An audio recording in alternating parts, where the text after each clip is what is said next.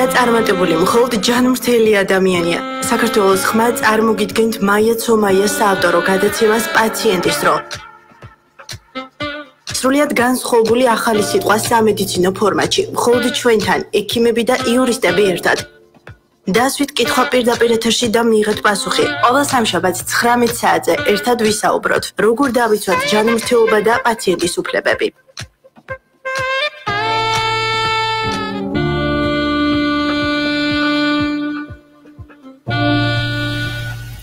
მოგესალმებით რადიო საქართველოს ხმის მსმენელს გადაცემაში პაციენტის დრო მარია ცომაიასთან ერთად. დღევანდელი ჩვენი გადაცემის თემა იქნება ხალხური მედიცინის სიკეთე. ხალხური მედიცინის ყოველი რეცეპტის უკან დგას საუკუნოვანი სიბრძნე, გამოცდილება და ბუნების გამკურნავი ძალა.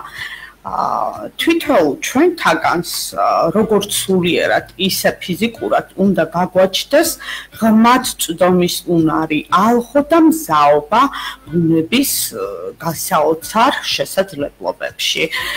მიუხედავად იმისა რომ 1000 წლეულების მანძილზე ნაგროვები უნიკალური ხალხური რეცეპტურის უმეტესობა დაკარგულია ერთეულებმა მაინც მოახერხეს გადარჩენილი ინფორმაციის აღდგენა გამდიდრება, შეგროვება. სწორედ ამ ერთეულებს მიეკუთვნება დღევანდელი ჩემი გადაცემის სტუმარი, ქალბატონი ნუნუ ღლიყვაშვილ-მარგიანი, 70-იანელებთა ერთ-ერთი საინტერესო ფემწერის, ცნობილი ხატვრის ვალერი მარგიანის მეუღლე, თავადაც ხატვარი ციგნის მედიადან დღემდე ავტორი ქალბატონი ნუნუ დღეს ხალხური მედიცინის სამყაროში მეტად საინტერესო სამკურნალ წამლო რეცეპტურებს შემოგთავაზებთ. აა ჩვენს რადიო მსმენელს საშუალება აქვს პირდაპირ ეთერში დაგვირეკოს, დასვას მისთვის საინტერესო კითხვა, დაუსვას ქალბატონ ნუნუს რომელი მცენარე აინტერესებს და მის სასარგებლო თვისებებზე გაესაუბრება უპასუხებს ჩვენი გადაცემის სტუმარი. და ასევე თვალიადევნეთ ჩვენს გადაცემას რადიო საქართველოს ხმის Facebook-ზე live რეჟიმში გადაცემის ხილვა შეგეძლებათ ასევე რადიო საქართველოს ხმის საიტზე, ოფიციალურ საიტზე, ვოგჯიზე. აა მოგესალმებით, ქალბატონო ნუნუ. კიდევ ერჯერ შეგახსენებთ დაგვირეკეთ ტელეფონის ნომერზე 790 202 303 მობილური ოპერატორიდან წინ 0 სანამ გადავალთ გადაცემის თემაზე კაპიტონ ნუნუ მინდა ბატონი ვალერი მარგიანის შესახებ შევახსენო ჩვენს რადიო მსმენელს ახლა მომავალი თაობა რამდენად იცნობს ვალერი მარგიანის შემოქმედებას დაწმუნებული არა ვარ ამაში მაგრამ იგი იყო 70-იანელთა ერთ-ერთი საინტერესო გამოჩენილი მხატვარი რომლის ნამუშევრები დაცულია მრავალი ქვეყნის მუზეუმებსა და კერძო კოლექციებში. ბატონი ვალერი აკადემიის დამთავრებისთანავე გახდა მხატვართა კავშირის საპატიო წევრი. დღეს უფრო იოლი არის ბატონ ნუნუ მხატვართა კავშირში გაწევრიანება, ძალიან ხელმისაწვდომი გახდა. ეს ადრესი არ იყო, ალბათ დამეთანხმები თამაში. მოგვიანებით კი ვალერი მარგიანი იუნესკოსთან არსებული მხატვართა საერთაშორისო გაერთიანების წევრიც იყო. ბოლოს კი ყოფილი საბჭოთა კავშირის ფარგლებში როგორც შემდგარი მხატვარი კატალოგში პირველ ათეულში კი მოხვდა. და მისი ფერწერული ერთ-ერთი ტილო მოსკოვში დღესაც ტრეტიაკოვის გალერეაში მუდმივ ექსპოზიციაშია დაცული. 1987 წელს ვალერი მარგიანმა ტოკიოში გამართულ საერთაშორისო გამოფენაზე ოქროს მედალიც დაიმსახურა. კაბიტონო, თქვენ ძალიან აქტიურად ხართ ჩართული თქვენი მეუღლის როგორც მხატვარის და შემოქმედის პოპულარიზაციაში ხშირად კულტურ მერის კულტურის სამსახურის ხელშეწყობით თქვენ გამოფენებსაც აწყობთ არა ხელშეწყობით? კატალოგი შეიქმნა. კატალოგი შეიქმნა. დიახ. დიახ გამოცემული იქნა კატალოგი ძალიან კარგი კატალოგი. თქვენი ავტორობით უბრალოდ ეს იყო მერის კულტურული ღონისძიების ცენტრის ხელშეწყობით. და მის პერსონალურ გამოფენაზე სასტუმრო მერიოტში აა ჩი გამოფენაზე მოხდა ამის პრეზენტაცია მე მახსოვს ესწრებოდი მხდა პატივი წილად რომ დავსწრებოდი ამ გამოფენას. თქვენ TBC გალერეაც მასპინძლობდა ბატონ ვალერის გამოფენას მახსოვს. და ვისაუბროთ აი ფონდიც გაქვთ მგონი შექმნილი რას ემსახურება ეს ფონდი. სახმუზეუმიც არის თბილისში ასათიანის ქუჩაზე სოლოვაკში ბატონ. ვისაუბროთ ცოტა ბატონ ვალერიძე და მთელი თქვენი ოჯახი მხატვრები ხართ. თქვენი შვილები მაია მარკიანი, მირზა, მის შემოქმედებას მეც კარგად ვიცოდნ და თქვენ მხატვარი ვწანდებით. დიახ. გმადლობთ ყურადღებისთვის. უპირველესად მინდა ბოდიში მოუხადო ჩვენს მსმენელებს, იმიტომ რომ მე სერიოზულად ავად ვიყავი ერთი წლის წინ. ინსულტი მქონდა და აი ამიტომ ნელა საუბრობ და არა ოდიშსიხე და რაც შეეხება ვალერის მართლა დიდი მხატვარი იყო ყოველგვარი გადაჭერბების გარეშე ვიტყვი და შემოქმედების ძირითადი ნაწილი ვალერისი მთისინა იყო რომლის კარგად ესმოდა მას რომლის კეთილშობილება სიძლიერე წელიწადის ყველა დროს. დია ეს ასე იყო ნამდვილად. ბევრს მოგზაურობდა ბევრს დადიოდა. იქიდან ჩამოქონდა ესკიზები ძალიან ბევრი ნაშრომები და ის დღესაც ხელუხლებელია მის სახელოსნოში, მის სახელოსნოში. და რაც შეეხება მის პოპულარიზაციას, მის ნამუშევრების, ხო? ამიტომ ფონდი შევქმენით. როდის შეიქმნა ეს ფონდი? ნუ მალევე გარდაცვალებიდან ერთი წლის მერე სამში გარდაიცვალა და მის მერე ერთი წლის მერე შევქმენით ფონდი. და რისთვის რომ პოპულარიზაციის მისი ნამუშევრების წარმოჩენისთვის და მინდა გითხრათ რომ დიდათ ვერ გაამართლა ამ ფონდმა იმიტომ რომ ნაკლები ყურადღება ისე როგორც ზოგადად მხატვრობა საერთოდ არ აქცევენ ყურადღებას დღეს მხატვრებს თქვენ ვისგან ითხოვთ ყურადღებას ვისგან და რა ვიცი ახლა სახელმწიფო რა თქმა უნდა სახელმწიფო ყველას ყურადღება ექცევა გარდა მხატვრებისა ხელოვნებაში ხელოვნება დაკნინებულია დღეს არავის არ არ ჭირდება ჭეშმარიტება ჭეშმარიტი ხელოვნება და ასე ვართ. ღვთისანაბარა ასე ვთქვათ ისე რომ მარიმუშავალედის ფონდმა და ასევე მის ნამუშევრებსაც მოულა პატრონობა თქმა უნდა არაერთი გამოფენა ქონდა. რა თქმა უნდა. აა TBC ბანკში ქონდა კარგი გამოფენა და გალერეაში ლურჯ გალერეაში ქონდა. უამრავი გამოფენები მოუწყვე. თავის დროზე ვალერიის არ უნდა და არც ერთი გამოფენა იმიტომ რომ ძალიან მოკრძალებული ადამიანი იყო და ზედმეტად თვლიდა თავის თავის პოპულარიზაციას. და შემდეგ მე გავაკეთე ეს გამოფენები. თქვენ ერთობლივი ნამუშევრების გამოფენაც ერთობლივი იყო კი, ოჯახური გამოფენა ქონდა კი. მაიაც მოღვაწეობს? კი, მაია, მაია პედაგოგიურ საქმიანობას ეწევა, ხატვის მასწავლებელი პედაგოგია. კი, კი, და თან ხატავს ხატვის ხელოვნების პედაგოგია. და ხატავს მაია არაერთი გამოფენა ქონია, ნიჭიერი გოგოა, მინდა გითხრათ, ისევე საოცარი ყვავილების სამყარო. კი, კი. და მოკლედ ასე ასეთი მდგომარეობაა. ქალბატონო ნუნუ თქვენ ხატვარიც ხართ, ხატვარი ხართ თქვენც და მე ვიცნობ თქვენს ნამუშევრებს. ხატრობა ხა პეტაპერ კავშირში ჰარმონიაში არის ბუნებასთან. ამიტომ ხა შეიძლება ბევრს უაც არ გაუკვირდეს თქვენი მცენარების მიმართ ბუნების მიმართ ესეთი დიდი ინტერესი თუმცა ამ საქმემ ისე გაგიტაცა თქვენ ხატრობაზე მეტად. აი ხალხურ მედიცინას გულისხმობ და საიდან დაიწყო ეს ყველაფერი? ეს ისტორია არ მოგიყოლია ჩემთვის.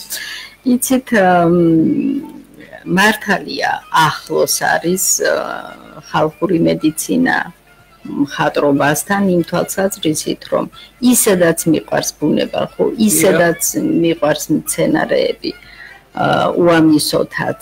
და მით უმეტეს როცა შერწყმა ხო მაშინ მაშინ ძალიან დიდი სიყვარული მოდის ამ ხრი და ეს მოხდა 90-იან წლებში როდესაც პირველად შევეხე, შეხება მქონდა ამ ფიტოთერაპიასთან, ნათესავი მოვიდა და მოიტანა რაღაცა ფერადი ციგნი, ძალიან კარგად შემდგარი ავტორი არ მახსოვს. სამწუხაროდ და ეს ციგნი რო გადავშალე, აი იქედან დაიწყო ჩემი იქ რა იყო იქ იყო რეცეპტები რეცეპტურა იყო? უამრავი სკელი კარგი ციგნი იყო ძალიან. ხო და ამითი მოვიხიბლე მოვიწამლე და შემიყვარდა დაიწყო ჩემი დაინტერესება. მოვიძიე თუ კი სადმე რამე ლიტერატურა იყო ლამპის შუქზე მაშინ შუქიც არ იყო და დაიწყაციარული თვითონ დაკრეფა კი ეს შემდეგ ჯერ ეტაპები გავიარე მთელი აა სანამ დავიწყებ დაკრეფას, დამზადებას და უშუალოდ მის სასარგებლოთვის რაღაც წესები არის ალბათ. კი, რა გამოყენები. შეიძლება გვავნოს კიდევა სამფურნალო მცენარე. აა კი, არის საჭირო ამისთვის. აი ქრისტეს ხლა მაგალითად საწამლავია როცა დოზას გადააჭარბე. ისე რომ ძალიან ფრთხილად მისაღებია. ესევე ბევრი მცენარეა რომელიც ანუ გამოყენების წესები გავაცნოთ რა გამოყენების წესები არის საჭირო ამის ჩემი ციგნში არის ძალიან დეტალურად მაგრამ მოგახსენებთ ახლა. ვითხარით რა წესები უნდა დავიწყოთ როგორც წესი მცენარეთა ზედა ნაწილი ყვავილების ყვავილობის პერიოდში შეიცავს ყველაზე აქტიურ ნივთიერებას. ზედა ნაწილი. გაზაფხულის ზაფხულის პერიოდში. ეს გაზაფხულიდან იწყება ზაფხულის პერიოდში. თავდება. და ასევე ناقოფი წიფოვის პერიოდში იკრიფება ناقოფი და შემდეგ გაშლი გააშრობ ჭრილში და მზეზე არ მზეზე არ შეიძლება მზეზე ერთ-ერთი ერთი მცენარეა მხოლოდ კაკლის ფოთოლი რომელიც მზეზე შრება. რისთვის გამოიყენა კაკლის ფოთოლი? კაკლის ფოთლის ჩაი არაჩვეულებრივია. თქვენ ჩაიზე ძალიან დიდი ყურადღება კი ჩაიზე კი. თქვენს ციკლში მედიადან დღემდე აქ არის ქვეთავებში ჩაის ისტორიიდან. ჩაის სამკურნალო თვისებები ბევრისთვის ცნობილია, მაგრამ აქ თქვენს ციკში შეხვდებით ისეთ რეცეპტურას ცენარეებს, ცენარებისგან დამზადებულ ნაყენებს. აბა გავხაცანით ამ ჩაის ისტორიიდანაც. ძალიან ერის თავზე წავიკითხე, რომელიც ინფორმაციაც არ ვიცოდი მართალი გითხრათ. კი ბატონო, თუ შეიძლება ამას დავამთავრებ, იმიტომ რომ თუ ვინმე დაინტერესდება დაინტერესდება მოკრიფოს, დაუშვათ თავშავა კრაზანა, რაც აუცილებელია რომ ოჯახში იყოს. იმიტომ რომ ისინი შეიცავენ ისეთ ნივთიერებას იმის ჩაირო დალიონ ხო? კარქასიელზე დადგება გუნება განწყობა გაუნჯობესება ადამიანს სტიმულს აძლევს იმუნიტეტი კიდევ ერთხელ გავიმეოროთ ეს სცენარი თავშავა და კრაზანა და ეს კრაზანები მწვანე აფთიაქში ციკდება რა თქმა უნდა კრაზანა მაგალითად 90 დაავადებას შედის მაგრამ ისევე როგორც სხვა მცენარეები ამის დოზის გადაჭარბება არ შეიძლება. აი ჩემთან ნაგარაკზე მაგალითად თქვენ სიონში გაქვთ გენიალური ანგარაკი. თქვენი ეზო ცნობილად მე მარგიანების ედემს ვეძახი თქვენს ეზოს მართლაც. დიახ იქ მაგალითად სავენ კრაზანას ჩაი. თითქოს მოდაშია რაღაცნაირად იციან, რომ კრაზანას ჩაი კარგია და სავენ, მაგრამ აჭარბებენ. და რა ემართება? რა ემართება და სისწრაფებს ავიწროებს გადაჭარბებული დოზა. ყველაფრის ცოტა რა თქმა უნდა, რა თქმა უნდა. დოზირებული. თვითონ კრიფავენ ქალბატონო. კი თვითონ კრიფავენ მაგრამ გაშრობის წესი მოკრეფა ეს ყველაფერი უნდა იცოდე. იმიტომ რომ მიწევნი ცოდნა არის საჭირო იმიტომ რომ თავშავას რო კრეფდი იქ მივედი აღარ იყო თავშავა. იმიტომ რომ ფესვებიანად იკრიფება ფესვებიანად კრეფენ და ნადგურდება ეს. ფონდი ხო და აი შემოდგომაზე მაგალითად გვიან შემოდგომით როცა მიწის ზედა ნაწილი ჭკნება უკვე ფესვებში გადადის გააქტიურება და მსხვილდება ფესვი. აი მაშინ ამოიღება ფესვი ფესვი როცა საჭირო და ფოთლები ყვავილობის ბალახის შეგროება ყვავილების და ბალახის შეგროება შალამინში ხდება. წვიმიანად წელიწადის დროებზეც კი რა თქმა უნდა რა თქმა უნდა ეს მხოლოდ საფულში ბალახი და ყვავილი იკრიფება საფულში და ფესვები შემოდგომაზე გვიან შემოდგომაზე ფესვებს რომ მოვიპოვებთ, ამასაც თავისი წესები დაფაჭირდება, გარეცხვა, გაშრობა და გაშრობას ძალიან დიდი მნიშვნელობა აქვს. მაგალითად, ყვავილები ხო?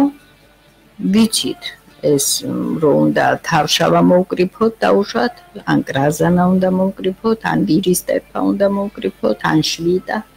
ამას ვკრებთ, მაგრამ გამოშრობა უნდა იცოდე.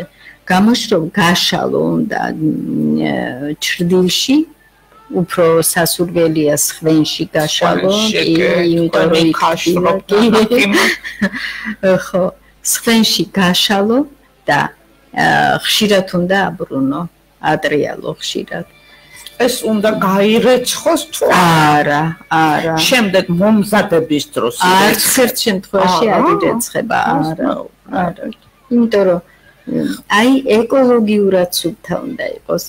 იქ ფიტომაღაზიებში ხო არიცი როგორ არის მოკრეფილი, როგორ აშრობენ და აი ამდენად იქ რო დამჭირდა ბალახი და იქ შევიწინე, იმას შედეგი არ ქონდა. ანუ სამკურნალო თვისებებს კარგავს. თუზებს მიწევნით ზუსტად წესებს არ დავიცა. ჭრილში აშრობ, რო გადატეხავ. წკარ უნდა ქნას ამ ღერომ. ესე იგი საფარი ხა სხვენში დაუშვათ შრობა რომ მიმდინარეობს რამდენი 1000 მწვერი ეყრება რა თუ რამე ნაჟრის არა არაფერი გადაფარება არ უნდა იცი რომ იქ სუფთა ადგილია სუფთად და მალევე შრება აი რომ გადატეხავ ხმაურით ტყდება. უკვე შრა და იცი რომ გამზადებულია ეს და იღებ იღებ ამას ტომარაში დებ, არა ცელოფანში, ქალადის პარკში ან ტომარაში დებ და ინახავ. ეხ, ქალბატონო ნუნუ, სანამ მე ხა ჩაის ისტორიაზე გადავალთ არა, მინდა იმ დავიტერესდი თქვენი ციგნი იწება, ქვეთავი თვით შთაგონება. აი პირველ რიგში ეს გავაცნოთ რადიო მსმენელს და მე ჩაიზე გადავიდეთ. დღეს ადამიანის ორგანიზმა უნდა გაუძლოს ხშირ შემთხვევაში ფიზიკურ შრომას საფრთხებს ჰაერიდან თუ საკვებიდან. ხო სწორი არა?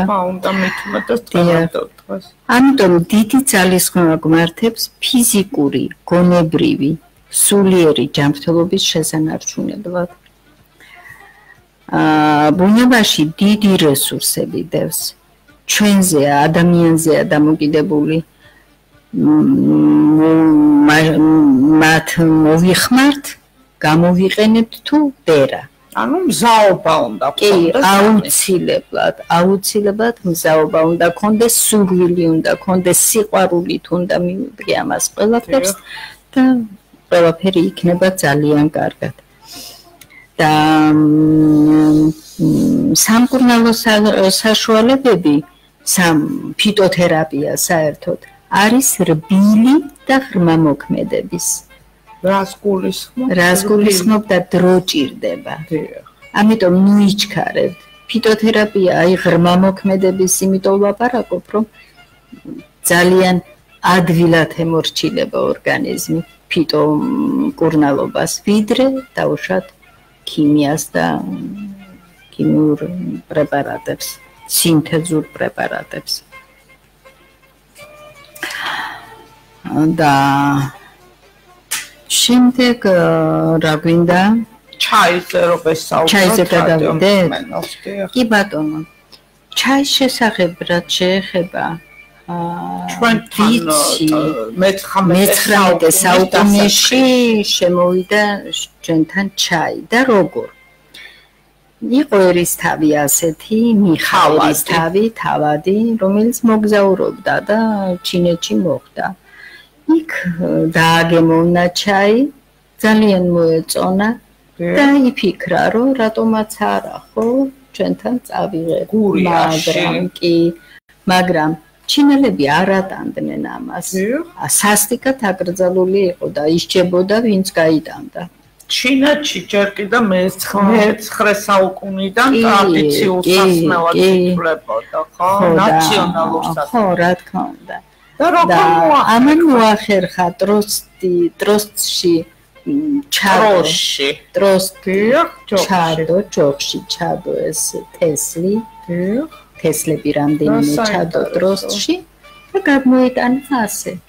ასე გავრცელდა მართლა მოუხდა ჩვენი მიწა ძალიან კლიმატი მოუხდა ახლოს იყო კურიაში მოხდა კლიმატი და ძალიან კარგად განვითარდა ჩაი.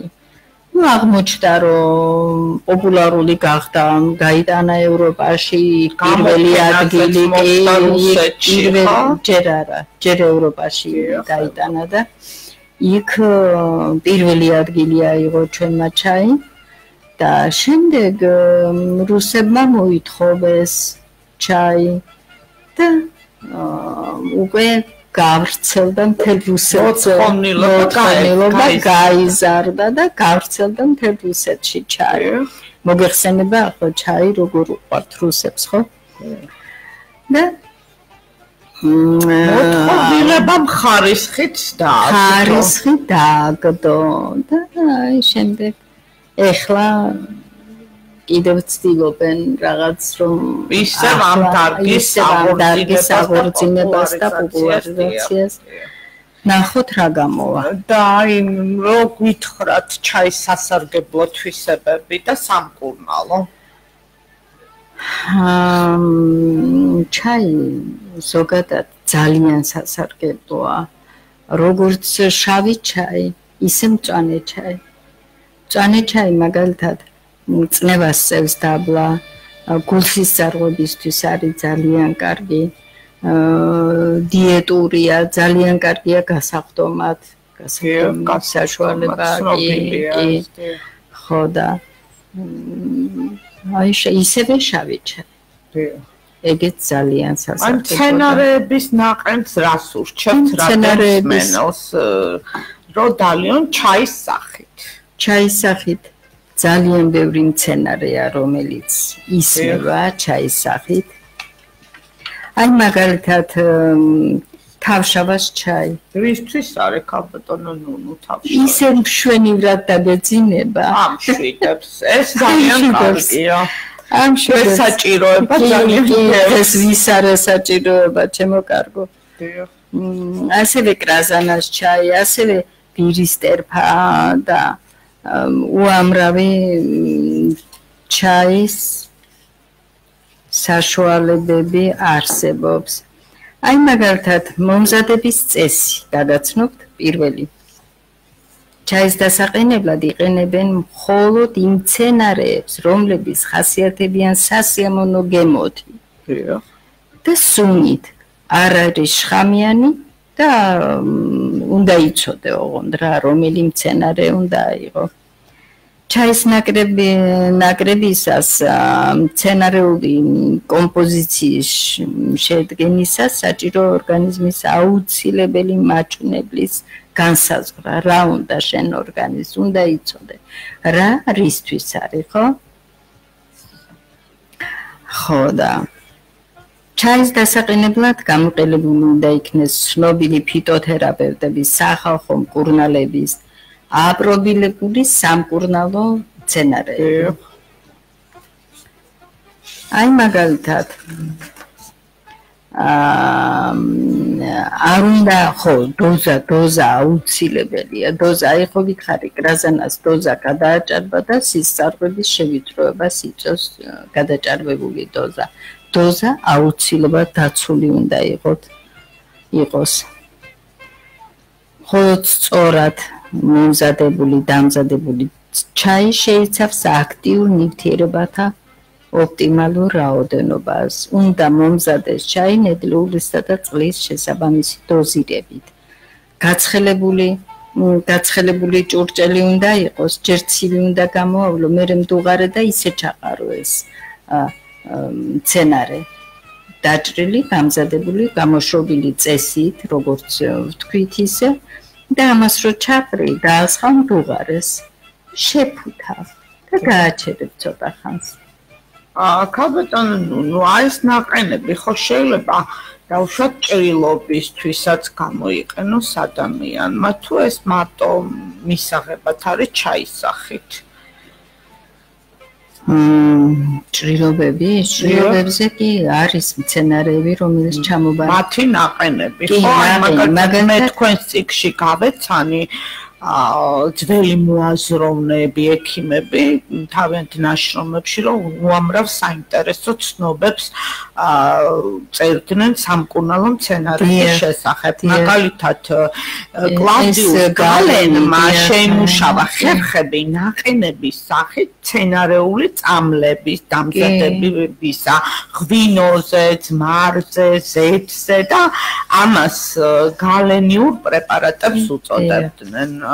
ასევე ცნობილმა ჰიპოკრატემ, რომლის გვარის 18 თაობა მედიცინით იყო დაკავებული და მამიდან შულს გადაეცემოდა 236 სახეობის სცენარი აგვიღწერა.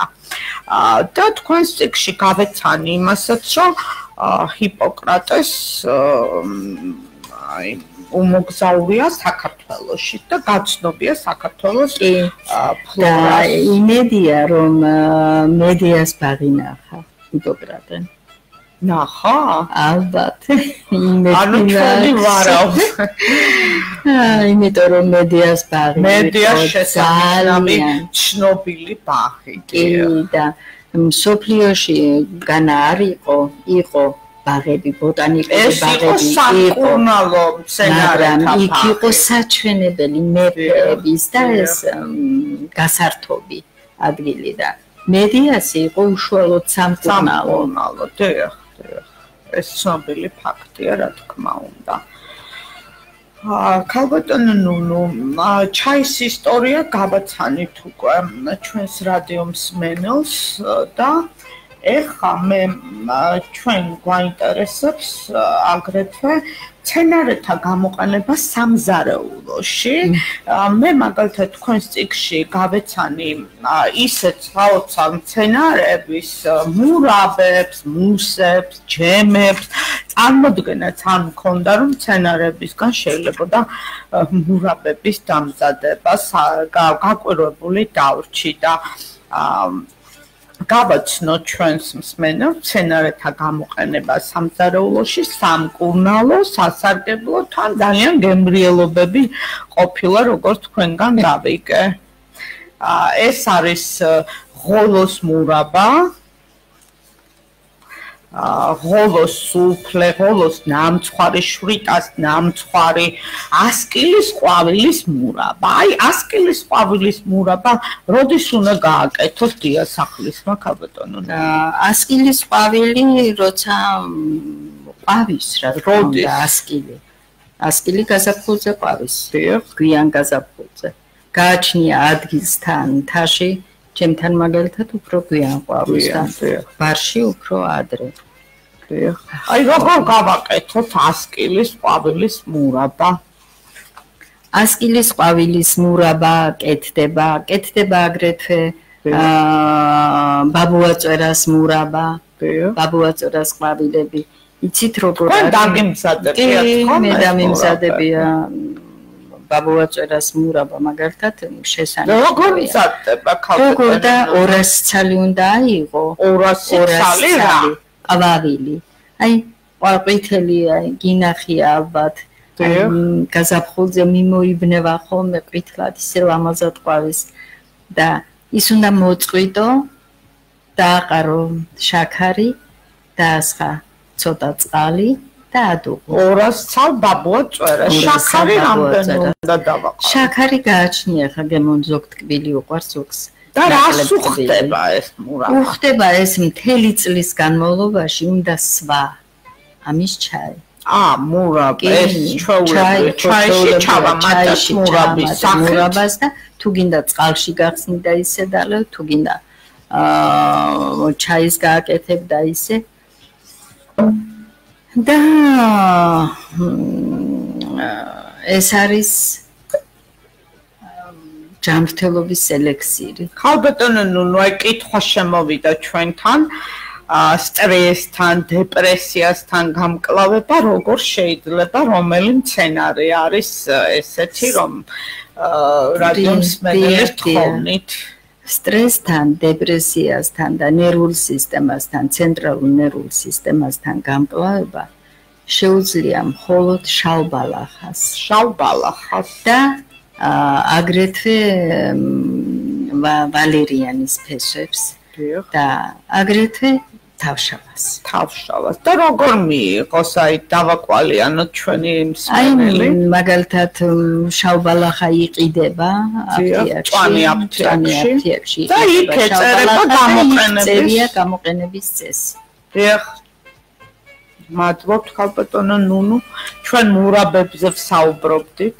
ბაბუაწვერას მურაბა შემახსენეთ რას უხდება რა დავადებებს? აა ბაბუაწვერას მურაბა არის წამალი რევმატიული, რევმატიული წამალია. ბაბუაწერას ანუ სახსრებს კარგი ექნება. არა მარტო მურაბა დაუშვათ მურაბას ვერ ახერხებ, ვერ აკეთებ, ხო? ბაბუაწერას სუფთა ადგილზე უნდა მოიპოვო, ოღონდ ყველგან არის ბაბუაწერა რა, სადაც სუფთად ნახავ, ის ადგილი. ეს ესე ცოცხალი. ყვავილებისგან კეთდება ამას გამოშრომა და ის არ არა გამოშრობაც ის ცალკეა მაგრამ აი როგორ არის იცით? ბაბუაწერას ასე დანით ჩაჭრი ისე რომ ფესს არ დააზიანებ გაფერთხავ კარგად გაასუფთავებ ზედმეტი ისინი ნაწილები მოაცალე ამას და 3 litrიან კილაში ჩადებ ჩატენი ამას. და ფენა ფენა შაქარს გაუკეთე. და თან ტენი რა შეიძლება ძლიერად ჩატენო უნდა ისე რომ წვენი გამოსდის. და შემდეგ გააჩერო ცოტა ხანს ბნელადგილზე და რამდენ ხანს? ნუ 1-2 დღე ბნელადგილზე დადებ, შემდეგ გამოწურა ამას. და აი გექნება ელექსირი რა. და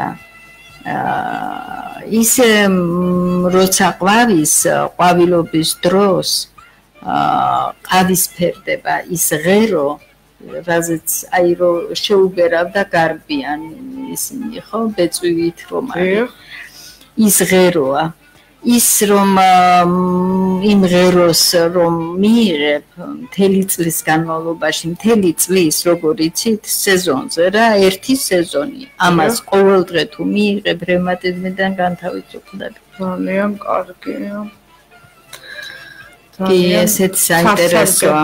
რევმატიული დაავადებები ბევრს აწუხებს. მით უმეტეს 40-50 წლის შემდეგ უჩივიან ბევრი. აი ღოლოს ღოლოზე რო ვისაუბროთ, თქვენ ნახეთ თქვენთან პიურე სუფლე ნამცხვარი ღოლოსი ქალბატონო ღოლო ძალიან ცნობილია იცით აი რას უხდება ბავშვობაში ღოლო? რა დაავადებებს უხდება? ყველაფერს მთელ ორგანიზმს მოიცავს ღოლო როგორ როგორ უნდა იცნო იცით ну ახლა ღოლოს ყველა ცნობს რა აი გრძელი ფოთოლია და მუქად მიყვება ღერძი ღერძულა ძარღვი. ცოტა სხვაფრად. ცოტა სხვაფრად მუქად მიყვება. და ჩემ ბავშვობაში მაშინ ფიტოთერაპიაზე აზე არ ვიყავი და ბებია ჩემი ამას კრებდა ამ ფოთლებს და როგორც თმას დაწნი ხო ისე წნიდა და შემოკიდებდა ხოლმე თოქზე გადაკიდებდა გამოაშრობდა თუმცა გამოშრობის წესი მან არ იცოდა მაშინ. ეხლა ხვდები რომ ის ცუდად აშრობდა.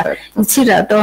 ჰაერზე აშრობდა გარეთ აშრობდა. ის ღამე ნესტს იღებს და ამიტომ არ შეიძლება ფერს იცვლის, უშნო ფერი ხდება რა. და თვისებებსაც და თვისებებსაც შესაბამისად კარგავს რა თქმა უნდა. ის აუცილებლად უნდა გამოშრეს დახურულ სივრცეში. და ეს გამოშრობის წესი და ცოცხლად ღოლო იხმარება ასე. აი მოკრებ ხო? დიახ. და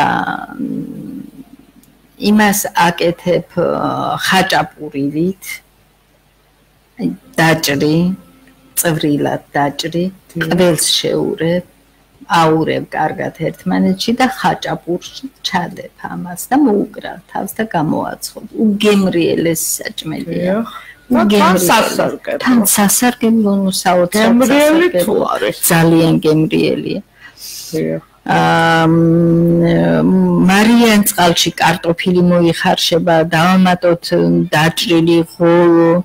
ეს ღოლოს სუპი, ეს ღოლოს სუპზე ვლაპარაკობ, უკვე ღოლოს სუპზე. და 10 წუთი ადუღებ.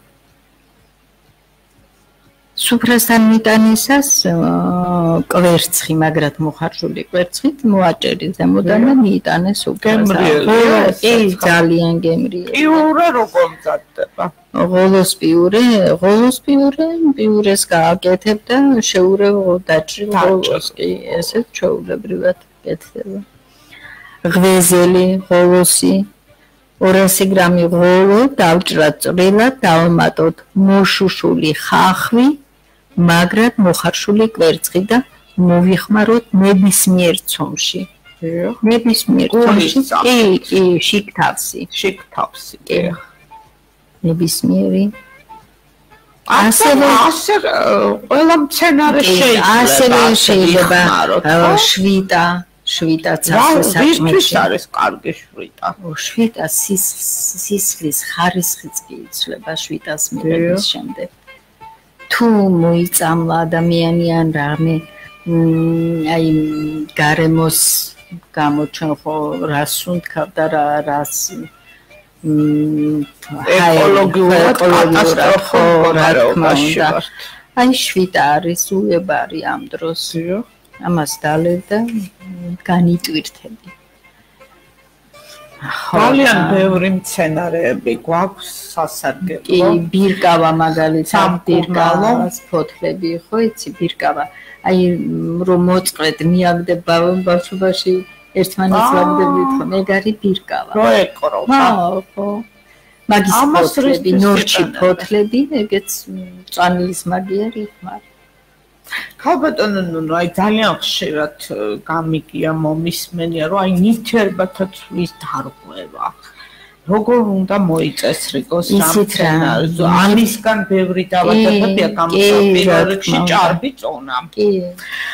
და მინდა აქვე თქვა რომ თქვენ გაქვთ უნიკალური ნაყენი კენკრა მარცვლოვანზე დამზადებული რომელიც სრულად ბუნებრივი პროცესებით იწვევს გახტომას. მე თქვენს მიერ ბევრი გალამაზებული ჩემი კოლეგა და ძალიან ბევრი ქალბატონი მინახავს კენკრა მარცლოვანზე დამზადებული ნაყენი და უთხრათ რადიო მსმენელს აი რომელი მცენარე არის სასიცოცხლო აუცილებელი იმისთვის, რომ ქალი იყოს მუდმივად ფორმაში და ნივთიერებათა ცვლა კონდეს მოწესრიგებული. მას ურჩევთ ქალბატონს. ძალიან მარტივია ის. არა მარტო ქალბატონები, მამაკაცები, რატომ არა? მე მგონი ქალებზე ნაკლებად არ უჩივიან ჭარბიწონისგან გამოწვეულ სხვადასხვა დაავადებებს და თუნდაც ფიზიკურად ჭინჭარი ჭინჭარი. ჭინჭარი ჩემო. აა ესეთი მარტივი სცენარე ხელმისაწვდომი. ხელმისაწვდომი ყველას. როგორ მოვამზადოთ ქალბატონო? საერთოდ ჭინჭარზე რადიო მსმენელს შეუძლია მოიმარჯოს პასტა, ფურცელი და ჩაიწეროს ეხა ნივთიერებათა ცვლის მოსაწესრიგებელი ქალბეტონ ნუნუს რეცეპტი. აბა გისმენთ ქალბეტონ. ჭინჭარი ნებისმიერ ვარიანტში, ხო? გინდა ბრინჯით, გინდა წმიანი გააკეთე. აა გინდა რაციონში შევიტანო ჭინჭარი არის ან სუპი, ან სალატი. კი, სანამ არის ჭინჭარი, უნდა ვეცადოთ რომ ყოველდღე მივირთვათ. დიახ. იმიტომ რომ მართლა კარგი საჩევიძენ ხალბატონო აი ცოტა ეს ბაზარში ცოტა ცოტა ეგ რთულია იცით. აი ჩემთან ეზოს შემოდიან მაგალითად ჭინჭარი როცა შემოდის და სულ ვეხვეწები რომ სუფთად მოგრიფეთ რა გეხვეწებით. გზის პირზე არ მოკრიფოთ და ასე შემდეგ. არა, არა, სუფთად არის გზის პირზე არ არის, მაგრამ დაიჯერე. ხო და აი ამიტომ თუ ვისაც ცოდნა ჭირდება. თან თან ჭინჭარი მზისამოსლამდე იკრიფება იცი. არის მცენარეები რომ სავსე მთვარის დროს იკრიფება არის მცენარეები რომ მზისამოსლამდე აი ჭინჭარს თუ კი თუ ლაპარაკობ ეს იდეალური ვარიანტია თუ მოკრეფავ მზისამოსლისას მაშინ ძალიან გაგიმართლა რა. იმიტომ რომ აბა რო იყიდება ჩვენ რა ვიცით ეს. ნუ ისე ისე სასურველ შედეგს. კი, კი, როგორ არა, მაგრამ მაინც კარგია მზისამოსლას და მზისამოსლისას რომ მოკრიფო. აი ჭინჭარი ბრინჯით მაგალითად. დუღარე წყალში მოათავსო წრილად დაჭრილი ჭინჭარი, ცოტა მარილი, იდუღო 10-15 წუთი, ცოტა ფქვილი გავქნათ წყალში, დავმატოთ რომელიმე ზეთი, მოვშუშოთ გამზადებული, ჩავუშვათ გამზადებული მასა და 5 წუთი იდუღოს ყლავ. სუფრასთან მიტანისას მოვაყაროთ დაფხმილი ყველი. ეს არის ბრინჯი ბრინჯით ჭინჭარი, ჭინჭარი ბრინჯი. კაბატონო ნუ ეხა ზამთრის პერიოდი ახლოვდება. და ეს თემა ძალიან აქტუალურია, დასუსტებული იმუნური სისტემა, როგორ გავაძლიეროთ ზუსტად მცენარეული საშუალება და სრულიად უვნებელი საშუალებებით. დიახ, აი ზუსტად ამაზეა ლაპარაკი, რომ აი ეს მცენარეები, რასაც ვაპარაკობთ ახლა, ხო, ხოლო დამარ შაქრით, ჭინჭარის სალათა, ჭინჭრის სალათა, სტაფილოთი, ნივრით, ბარტკაჭაჭას სალათა. ბარტკაჭაჭაზე მინდა გავამახვილოთ ყურადღება, იმიტომ რომ მეც მსმენია, რომ ძალიან კარგია იმუნური სისტემა. კი, კი, მართალი ხარ. როგორ მომზადდა შაქრით, შაქრით დაავადებულები? შაქრით დაავადებულებისთვის არის კარგი. აა გვითხარით ვარტკაჭაჭა მაგალითად 80 გრამი წვრილად დაჭრილი ახალგაზრდა ღერო და ფოთლები. ახალგაზრდა ღერო სადვიშოვოთ კაპიტონო. ცოცხლად, როცა სალათისთვის გინდა, მაშინ ცოცხალი უნდა იყოს, ხო? აგერაკზე ჩვენ მოდით აი მარტივი რაც არის გასაკეთებელი. აი ყველაფერი მარტივია. აი დაუშვათ წვანი აფთიაქში შეიძინა რადიომს მენელმა ნებისმიერმა ადამიანმა ვარტკა ჭაჭა როგორ მოიქცეს რომ ის უკვე გამომშალია ხო? იმის გასალათას ვერ გააკეთე სალათას არა ისე რომ მიიღოს ვერ იხმა ისე რომ მიიღოს ნახელის სახით. ბატონო მიიღოს ანუ მაინც კარგი. კარგია რა თქმა უნდა.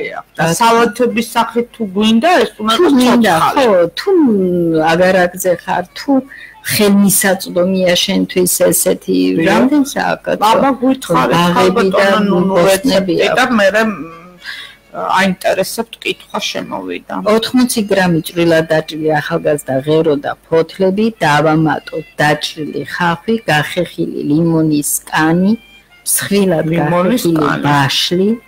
ცოტა შაქარი ამ ყველაფერს შეურიოთ მაწონი მაწონით დიახ. დიახ. ბარტკაჭა ბარტკაჭა სალატა ნუ ნუ ესეთი კითხვა შემოვიდა რომელი ბუნებრივი საშუალება აა საშუალებით შეიძლება ბრონხიალური ასთმის მკურნალობა ასთმის მკურნალობა შეიძლება ვირისტერფად ვირისტერფით ძვირფასო რადიომს მენელო ვირისტერფა თუ ბავშვია ვერა, მაგრამ თუ მოზრდილია ვირისტერფას სიგარეტს აკეთებენ და ბოლი.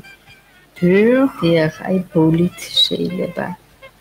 ანუ იმ სცენარეს შმიან. შმიან და სიგარეტს გამოაქვენ და ის უნდა შეისუნთქო ბოლი. შეისუნთქო. ან და ვიღაცამ გააბოლოს დაუშვა და თქვენ უნდა იმან ისუნთქოს. ხა და ისე რომ მიიღოს ناقელნის სახით. კი, კი, ناقელნის სახითაც კარგია.